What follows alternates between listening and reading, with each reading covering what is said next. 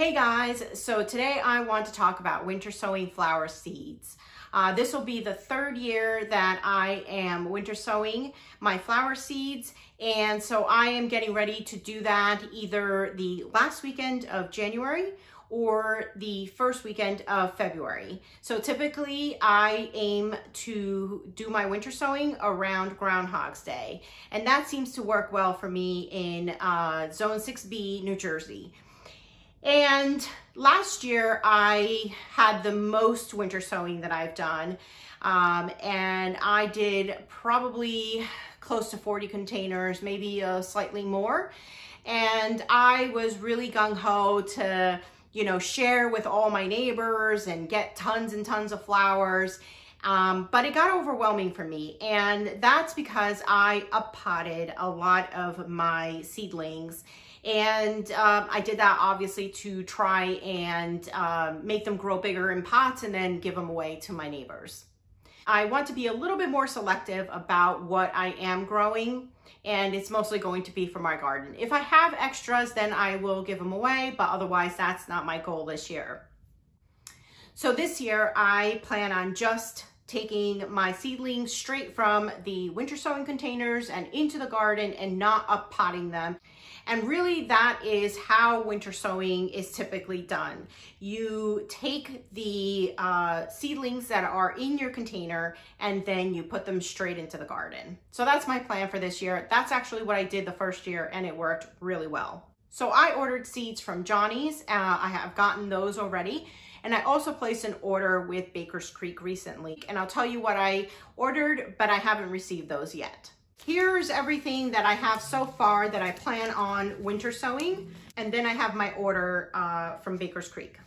I collected some seeds from my columbine uh, in the garden, which is a black columbine, and I loved it. Um, it did self-seed, but because we ended up taking out that big pine tree and redoing that bed, so I don't think any of the seedlings made it. And so at least I have a few more and I want to winter sow these. I also have this Columbine Ruby Port and I winter sowed this last year, but I didn't get any seedlings on this one. So I'm hoping that this year will be better. Next one is Columbine uh, Nora Barlow. And one of the seedlings from a winter sowing did make it and I should be seeing it bloom uh, this coming season.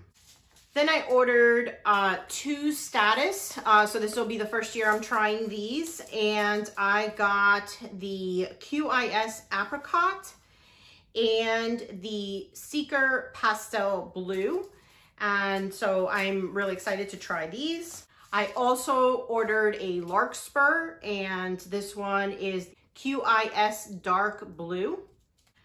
I got a Scabiosa called Black Knight. And uh, the Larkspur and the Scabiosa are also first time for me trying these. Uh, then last year I had winter sown my um, straw flowers and they did really well. Those performed the entire season well into frosts and cold and they were still alive in November.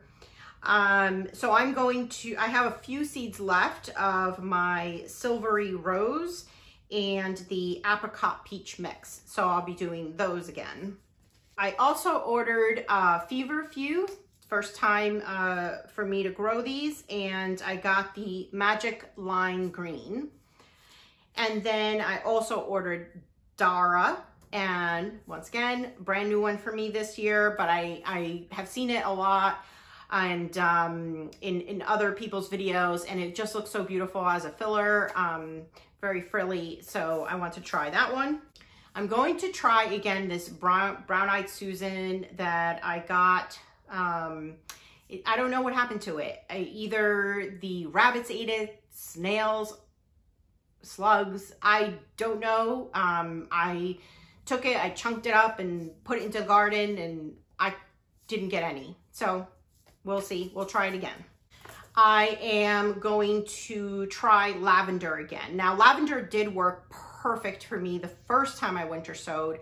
This second time around, it did work and I had a ton of seedlings but then somehow a lot of them died and I, am not sure what happened. There's only one survivor in the garden. I found it this fall. Looks great. Um, but I'm going to do it again. So I have a burpee uh, lavender, which is Lady, and I have some seeds left from Johnny's from last year's order, which is the Ellagance Purple. So I'll try both. Then I am doing the Snapdragons again. So these worked pretty well. They bloomed late for me. They did not bloom um, early enough that I think that had to do with me transplanting them and doing all of that jazz and not doing that again. Um, but uh, I'm going to put them straight in the ground. So these didn't bloom until the weather got cooler and then they grew and looked beautiful. So uh, these are the Snapdragon First Lady mixed color. And then I also got some uh, Snapdragons from Brampton Gardener. So she was doing a seed giveaway and I won the mixed color Snapdragons. I'm really excited to uh, winter sow these and I'll put them in separate container just so that I keep track of which, which ones these are. And uh, if you haven't seen Brampton Gardener, I'll leave a link down in the description below. Um, check out her channel. She's got a beautiful garden, grows beautiful flowers, uh, and she's up in Canada. So she's definitely colder than I am, and uh, hopefully these seeds do really well for me. So in my past winter sewing, I have done foxgloves and I'm going to do it again. So foxglove is a biannual and first year, all you will get is the foliage. All the leaves come out and then not until the following year, then you get the flowers. So the first year that I winter sewed them, all I saw was green leaves. Then last year, this, this last season, um, I had these beautiful spikes of flowers. Um, but I also winter sowed last year and put the babies all around.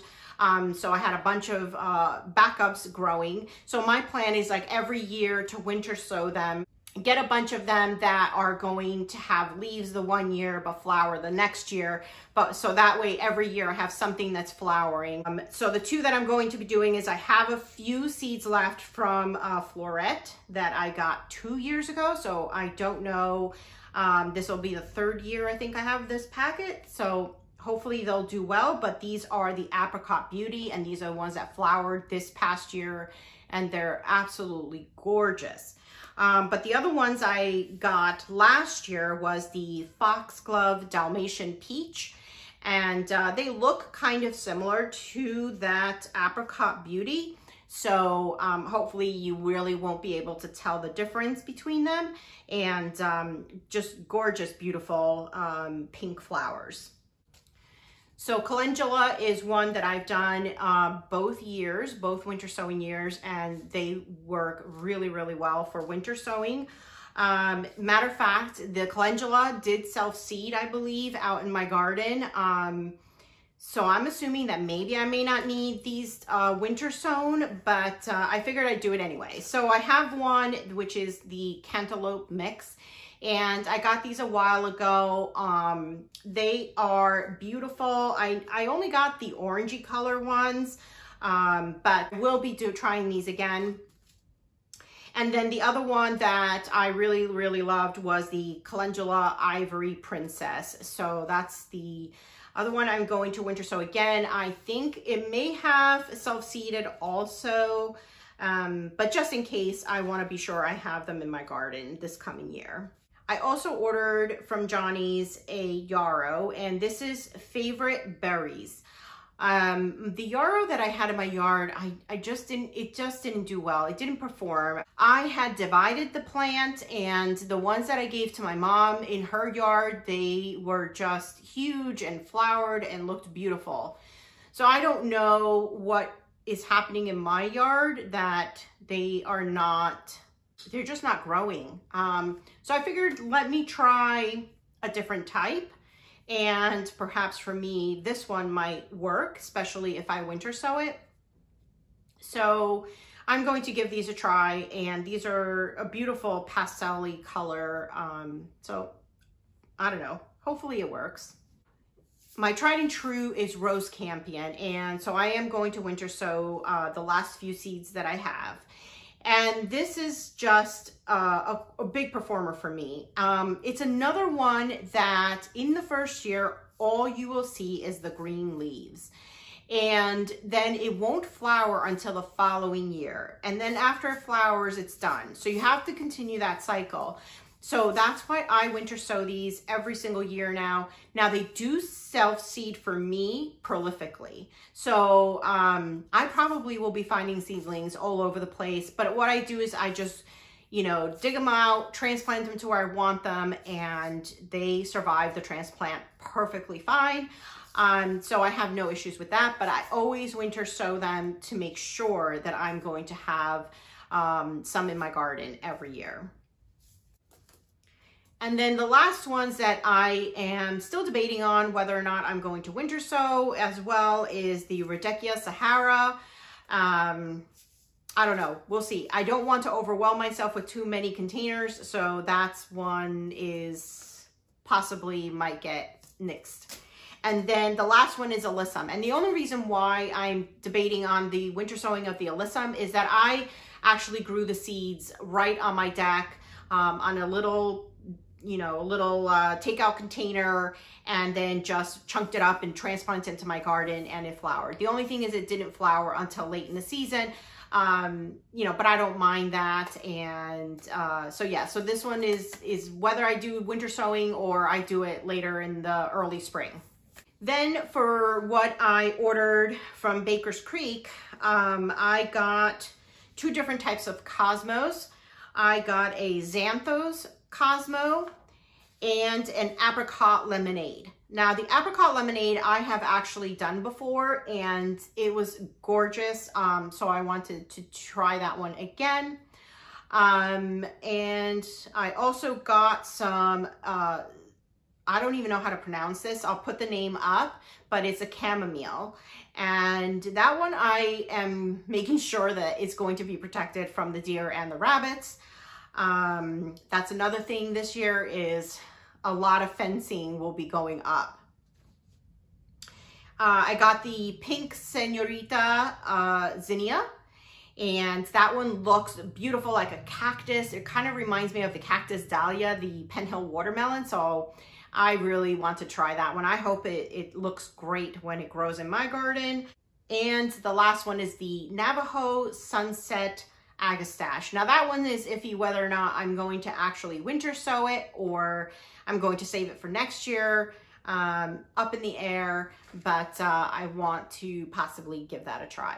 I do plan on recording uh, the actual um, planting of the seeds this year and, but if you want to see um, the actual process, I have a video up from last year and I'll uh, put a link to that video below. And uh, if you have any questions uh, about winter sowing flower seeds or anything that I have done, um, why don't you drop a comment below and let me know and I'll try to answer all the questions. But if you want to follow me on my Facebook page, I hope to be able to put up some photos um, as the time progresses rather than waiting for the reveal.